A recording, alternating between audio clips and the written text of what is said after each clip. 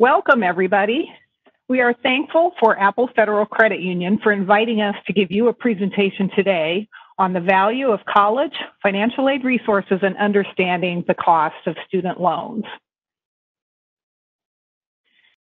There will be two of us presenting to you today. We've got Maureen Fagan, who's Director of Business Development from North Reading, Massachusetts, and myself, I'm Thalassa Naylor. I'm Director of Business Development in Fair Oaks, California. And together, I won't even share how many decades of experience we have together, but we've both been in uh, the world of financial aid and student loans for a long time. So hopefully we'll be able to bring you some very valuable information today. During today's presentation, you're going to learn much more than just the cost of student loan borrowing.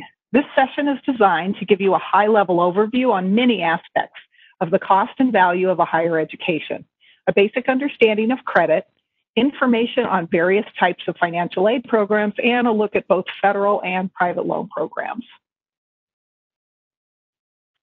Sallie Mae annually surveys families to determine resources used to pay for college.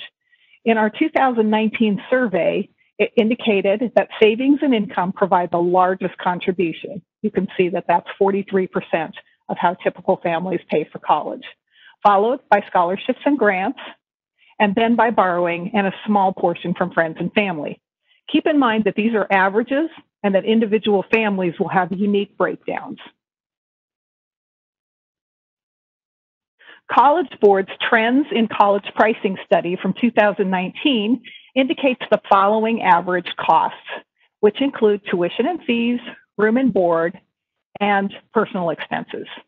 An average cost for a two-year college, public college, is over 18,000. The average cost for a four-year in-state is about 26,500. For a public four-year out-of-state, it's about 42,970. And for a private nonprofit, it's 53,980. Again, keep in mind that these are averages and you may find wide variations by state and school. You can usually locate a school's cost of attendance by going to their website. This information is usually housed on the financial aid section, or if you search the website for cost of attendance, you can find this information for each institution that you're interested in attending. Generally, there are two types of college costs, direct and indirect. Direct costs are those that the institution will be billing you for directly. This would include things like tuition, fees, housing and meal plans. Indirect costs are costs that still are required to attend college, but they will be things that you'll pay for independently. So they won't be billed by the institution. This would be things like books and supplies, equipment, transportation, personal living expenses, and housing and meals. You'll note that we've got housing and meals listed under both direct and indirect costs. It will be a direct cost if you're living on campus, so they'll charge you for the dorms and the meal plans. It will be an indirect cost if you're living off campus at home or in an apartment where you're paying for this on your own. So it won't appear in both areas. It will be one place or the other depending on what choice you've made for your living arrangements for the year. Shifting to some points about the economic value of a college education, this graph from the Federal Reserve Bank illustrates that earnings for college graduates consistently exceed earnings for those without a college degree. You can see from this 25 year chart, um, although you can't see the exact numbers in this chart, it gives you the idea the blue line consistently higher than the yellow line. The blue line is those with a bachelor's degree, the yellow line is a, a high school diploma. To look at the value of college in another way, this graph details lower unemployment rates associated with college and advanced degrees as compared to those with a high school diploma also detailed as a rise in weekly earnings. So to give you some annual figures, this is this is stated in weekly figures. Um, to give you some annual figures, a person with just a high school diploma earns just under 39,000. A bachelor's degree will bring in an average of about 65,000, and a professional degree will net someone an average of 96,000. Keep in mind, again, these are averages. Some careers will pay more or less, and of course, where you are located um, within the country or within your state. You may also find variations in income. Before we talk about types of financial aid, I want to talk about the most important form that you need to file, and that is the free application for federal student aid or the FAFSA. The main factor in determining financial need is the FAFSA.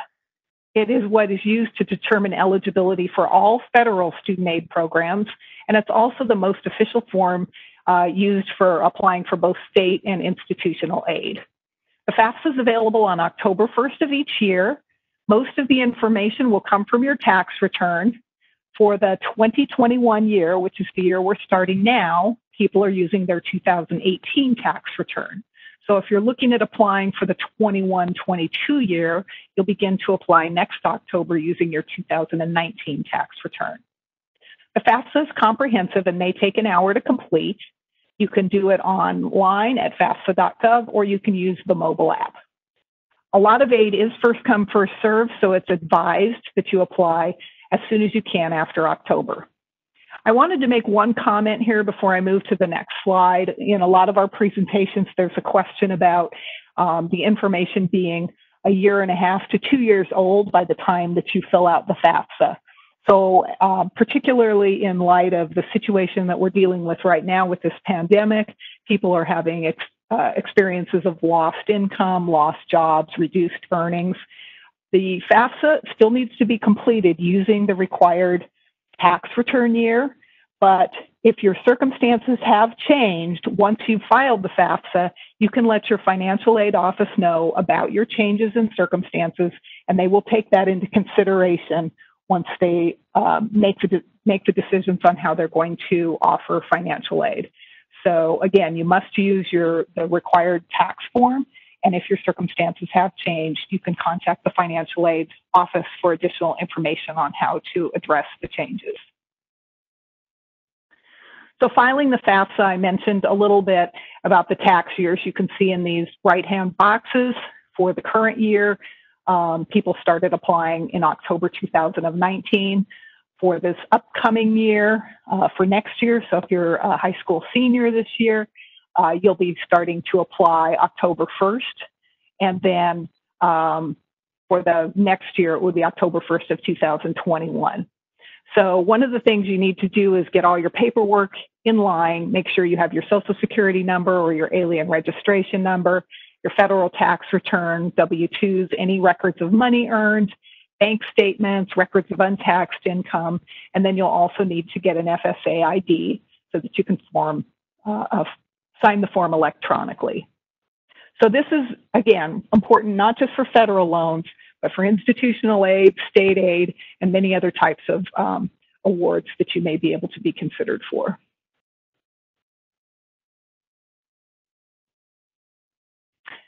Once you've filed the FAFSA, you can be considered based on eligibility for the many types of aid we'll talk about next.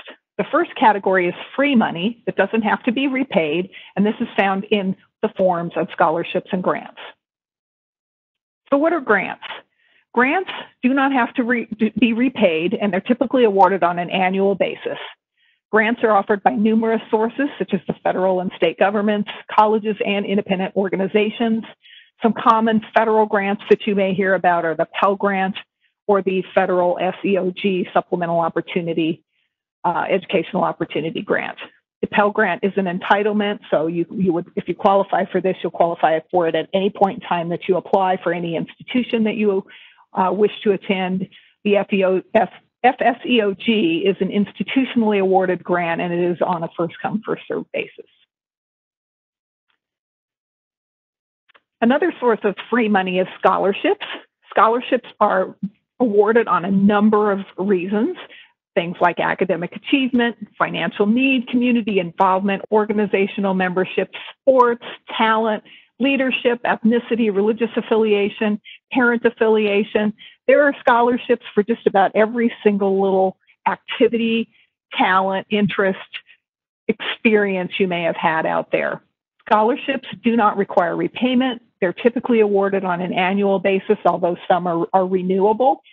Um, the federal and state governments offer some scholarships, but the majority are awarded by the institution and by private organizations. one of there's a lot of resources that you can look for scholarships. You can look at local and community-based scholarships federal and state agencies. Your institution will have scholarships. You can search their website look for departmental scholarships. The financial aid office has uh, scholarships in there uh, usually in their awarding process religious organizations employers libraries um, the most important thing that I wanted to talk a little bit about is your online search engines that aggregate scholarship offerings and allow you to be matched up to scholarships based on your personal profile. Sallie Mae has a very robust scholarship search database at salliemae.com scholarship search. Here are some scholarship resources that you can take a look at. Apple Federal Credit Union actually has a scholarship search tool provided by Sallie Mae provides access to more than 3.5 million scholarships worth 18 billion. FastWeb is another one, Big Future by College Board. These are all really great resources. Um, the nice thing about these aggregated scholarship resources is that they will actually pull all the scholarship opportunities together for you in one place. They've done all the work for you. So you fill out a profile. They will try to match you up with all the scholarships that might possibly work for you, and then it's up to you to take the time to apply for those scholarships. Scholarships do play an increasingly important role in paying for families, with 65% of families said reporting that they used a scholarship in 2018. Here is a breakdown of where the scholarships came from and how much they're worth. Um, 61% of the scholarship recipients said they got a got the scholarship from the institution, from the college, with an average amount of a little over 10,000. 31% of scholarship recipients said it came from a community um, resource or, or um, private organization with an average amount of about 2,800. And 21% of scholarship recipients said they got it from a state or local government agency with an average amount of about uh, just under 2,900. We have a few tips here on applying for scholarships. Things like being organized, be honest, follow instructions, include strong recommendations, create a lasting impression with your essay. So when you're writing an essay, um, be personal. Don't just talk about the why and how. Don't just say what you did, um, but talk about how you learned, what you learned, and how it helped others, and the whole experience. Make it something that people are going to be interested in reading. Um, double check your spelling, grammar, neatness, have some people proofread it for you, ask your family and friends for feedback. Most importantly, meet deadlines. Um, you can track your scholarships um, through a, you can create a spreadsheet to track them. You can document your accomplishments in advance so that you have that list handy when you're working on applications. Um, make sure you start early and allow plenty of writing time.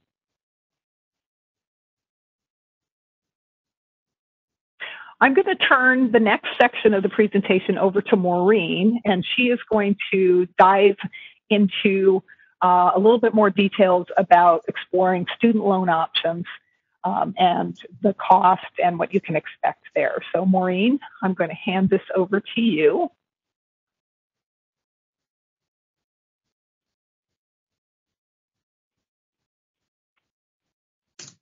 Thank you, Thalassa. Okay. Um, so managing the cost of education loans, exploring student loan options. So the first uh, loans that I that we'll be talking about are federal student loan programs for undergraduate students. And you'll hear the terms federal direct subsidized and unsubsidized loans, which are low interest loans for students enrolled in college at least half time.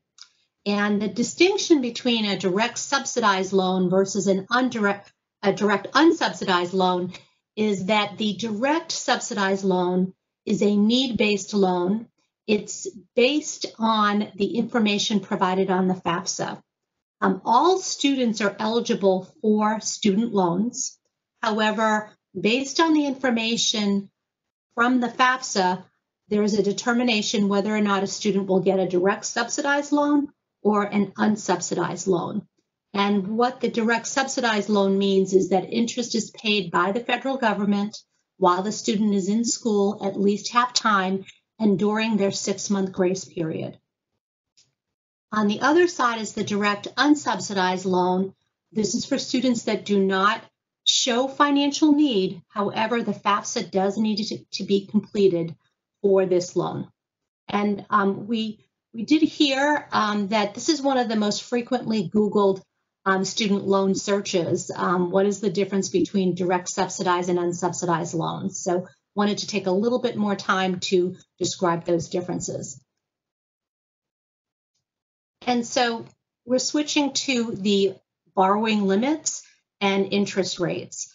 So there are loan limits on an annual basis for the direct subsidized and unsubsidized loans. And they are as follows 5,500 for the first year, 6,500 for the second year, 7,500 for the third and final years. Um, and those are limits for dependent students. Independent students might have higher loan limits. Um, there's additional bullet points here for military members may be eligible for special interest benefits regarding their federal loans. Payments do begin for these federal loans after six months after leaving school. Um, we consider it a grace period, and um, no payments are due during that time. There are flexible repayment options with terms of up to from 10 to 25 years. And there are deferment options as well and loan forgiveness options. The interest rates are as follows. Uh, it's 2.75 uh, for an interest rate for both the direct subsidized loan and the unsubsidized loan. And there is a fee um, taken off the top of the loan before the loan is dispersed to the college or university. So you noticed on the previous slide that there are loan limits. And so the question always remains, how do I pay the remaining gap? Um, another loan that does require completion of the FAFSA um, is for parents of undergraduate students, and that's the Federal Direct Plus loan for parents. And that will allow the parent to borrow the remainder of what a student owes after financial aid is applied. The student needs to be enrolled at least half time this loan is generally paid back over a 10 year period. The maximum loan amount is the cost of attendance determined by the school minus any other financial aid.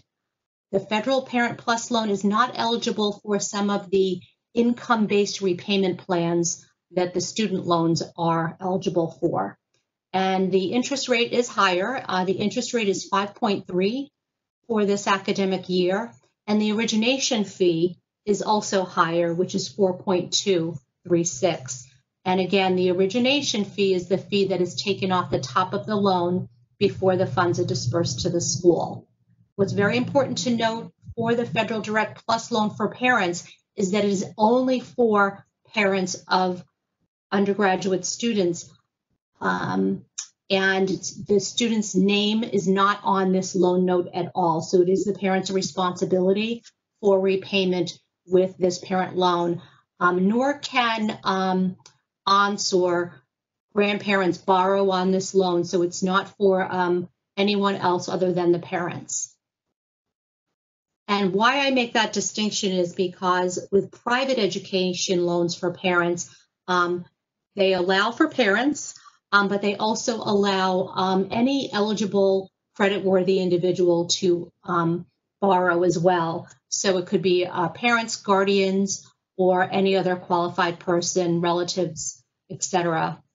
Um, the following information um, will vary by lenders. Um, the repayment terms can vary from lender to lender. Most private lenders do not have any of the origination fees that I, I mentioned in the previous slide. Uh, the repayment terms um, are also um, vary from lender to lender.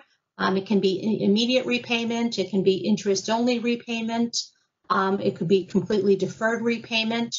And the annual loan limits are quite similar to the Parent Plus loan that I mentioned. It is the cost of education minus any other aid that is received.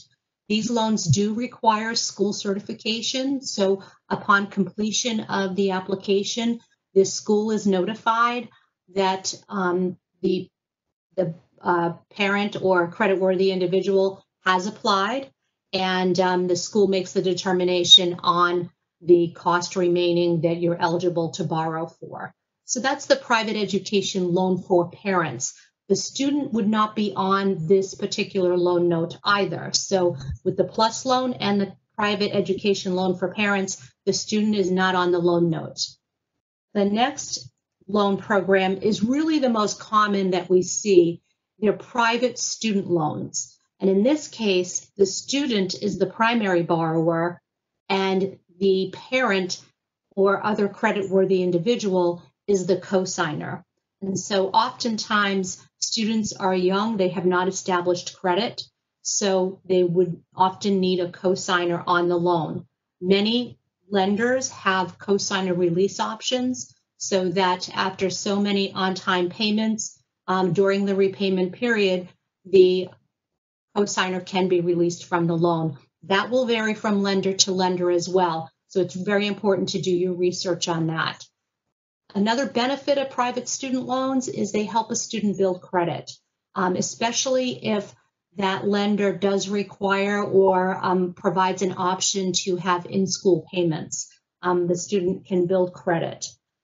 Again, this will cover up to 100% of the school certified cost of attendance minus financial aid. There are no disbursement fees generally with private student loans. And again, like I mentioned earlier, many lenders offer the cosigner release option. Um, and then just some final bullets, um, the option to defer or make in school payments. So that's the most common um, private, the private student loans are the most common that we see. Just a little bit more information on the repayment side for private education loans. Oftentimes you'll see the option to make immediate repayment, defer repayment, pay later, have a fixed repayment plan, have an interest only repayment plan.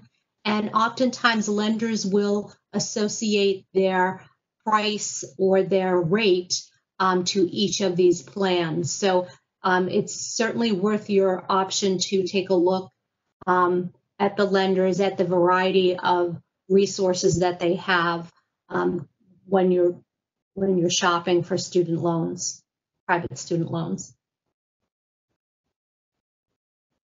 And then, of course, it's really important to consider how much to borrow. You really need to consider your financial situation and you need to consider the earning potential in your chosen field. Um, and a, a, really great website to do that research is um, through the US Department of Labor um, to really determine what your future earnings will be.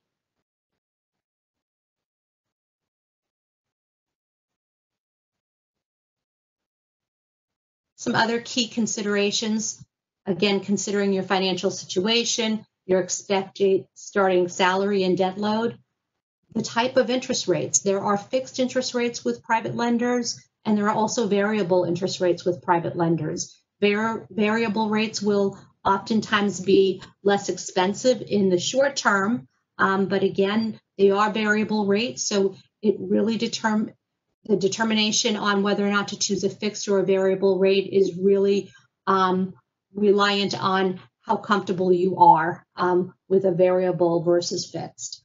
Um, benefit programs that may, might be offered in the student loan programs.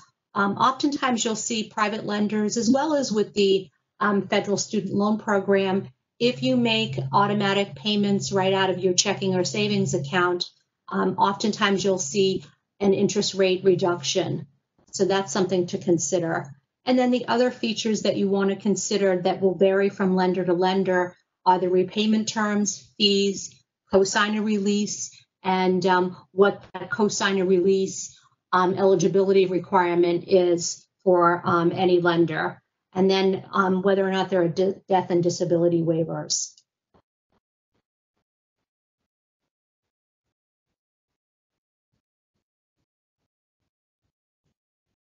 So really just talking about the cost of student loans and just kind of backing up a little bit here is the interest rate is the rate that um, a lender will charge you to borrow money. And the higher the rate, the higher the total loan cost. Another factor that um, is really important to consider that um, is is really important for any loan that you borrow, but there are some nuances with the student loan programs, is interest capitalization. That occurs when unpaid interest is added to the principal amount of a loan, and thereby it increases the total amount, total principal amount outstanding. And the next slide will give you a little bit more detail on interest capitalization with student loans.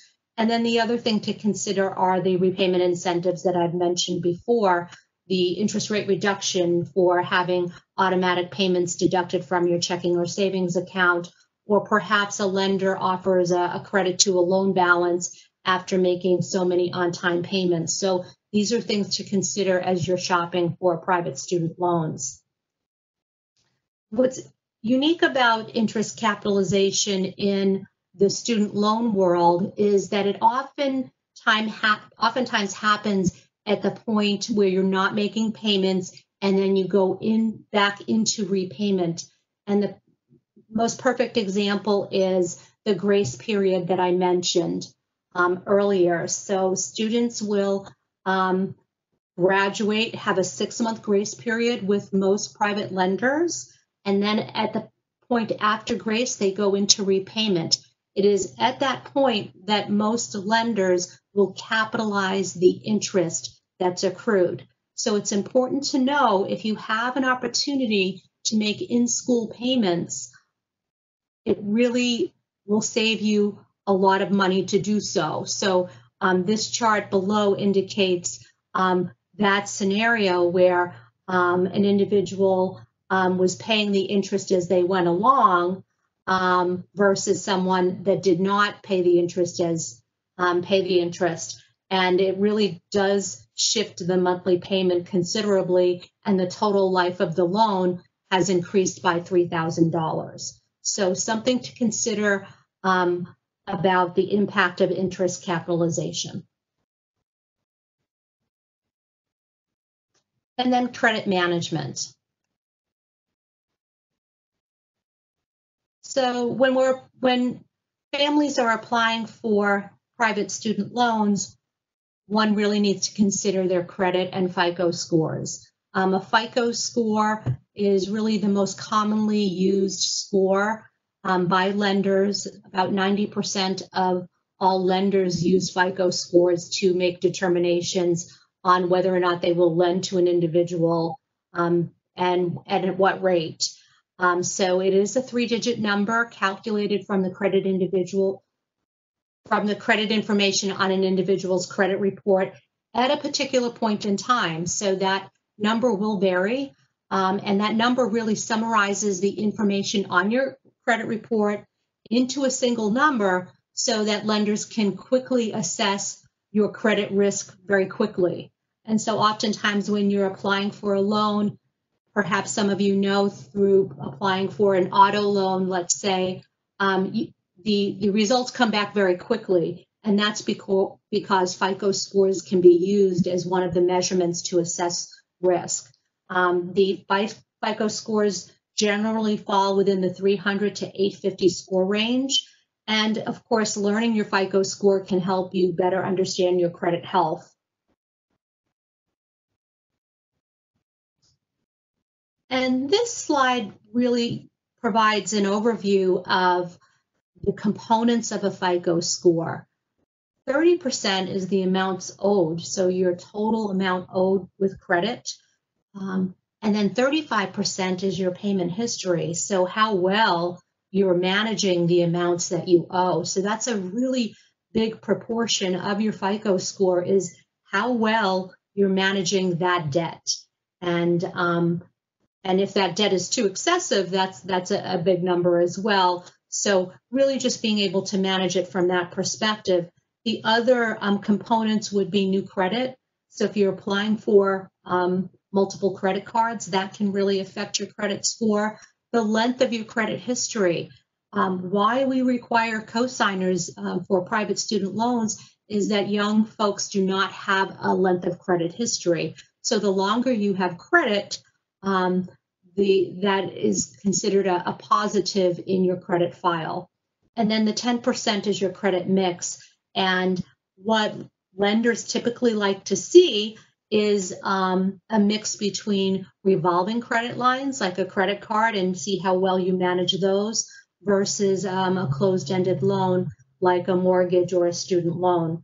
Um, so having a credit mix can be advantageous as well, as long as you are managing it properly.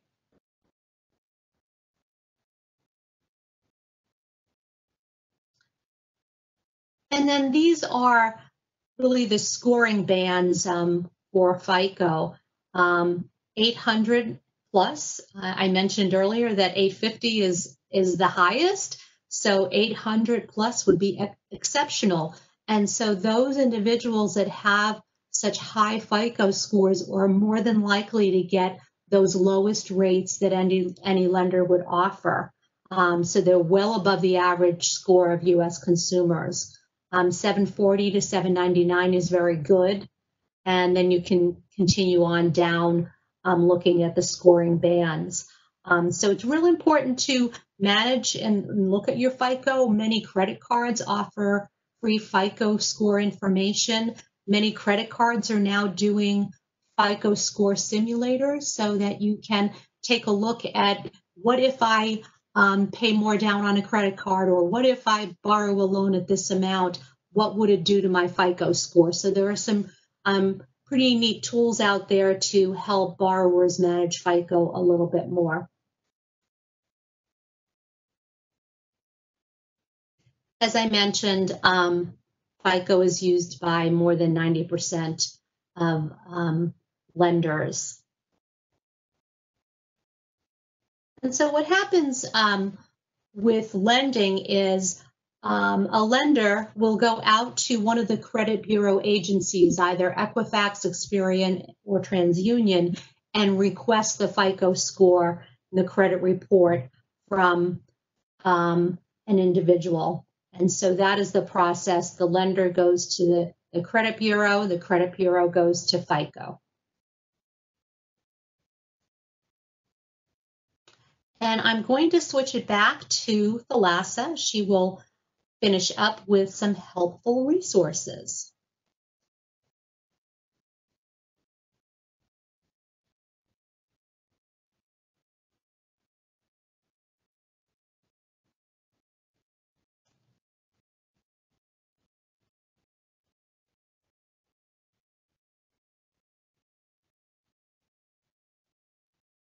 of financial aid and student loans is to start keeping records.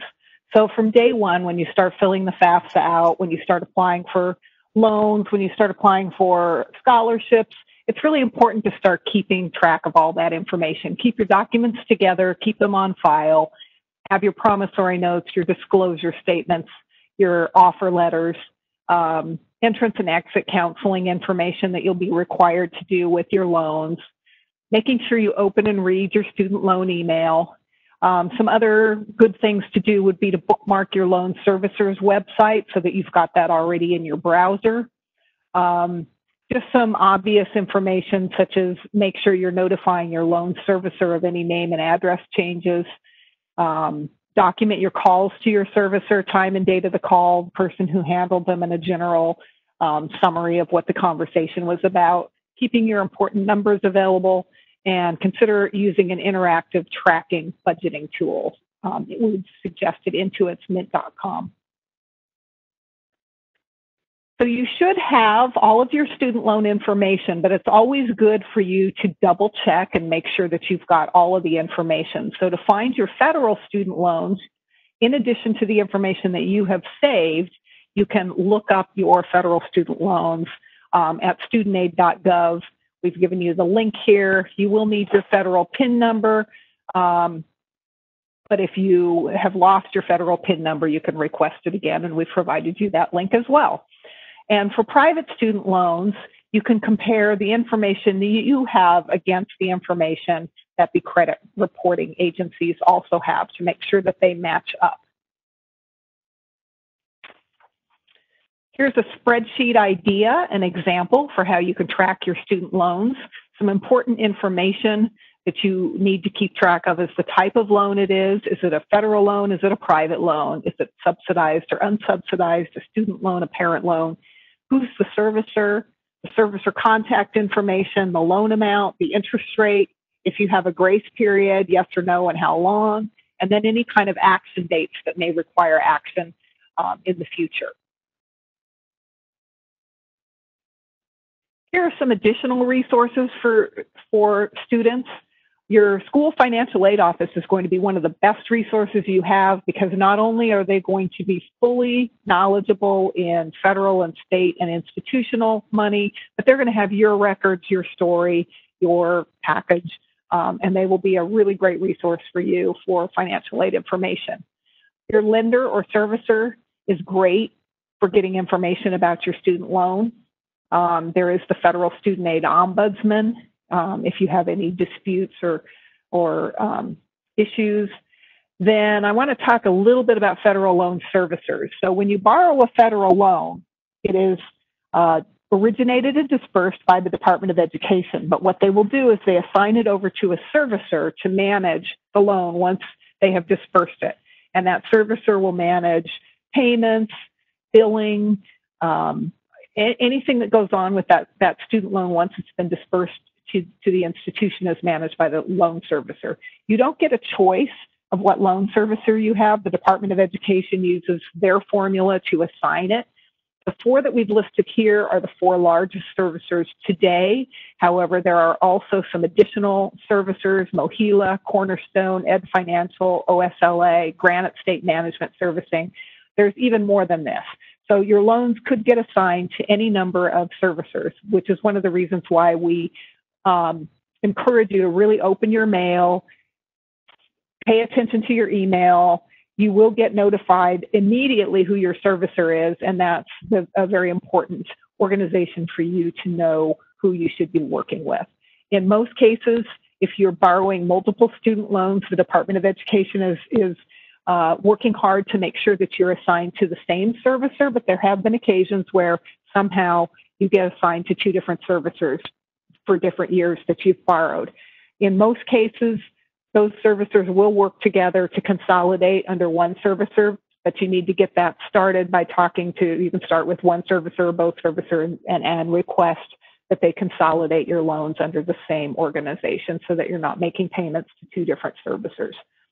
Um, for information on federal and student loan repayment, you can go to studentaid.gov. As you can see, this website has popped up a number of times. It's a great resource for you for a lot of different things. So something to keep in mind is this presentation is an overview. It's not comprehensive. It's subject to change. And given the events that we're currently experiencing with the COVID-19 epidemic, the Department of Education and the CARES Act recently off, passed by Congress may offer some additional repayments if you're in loan repayment or entering loan repayment. So please check the Department of Education website for the most up-to-date information on available options and assistance. And your loan servicer will also be able to provide you with additional guidance.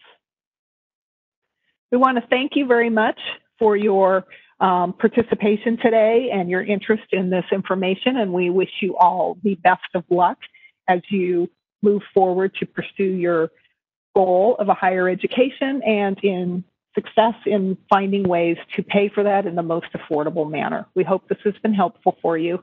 We appreciate your time today.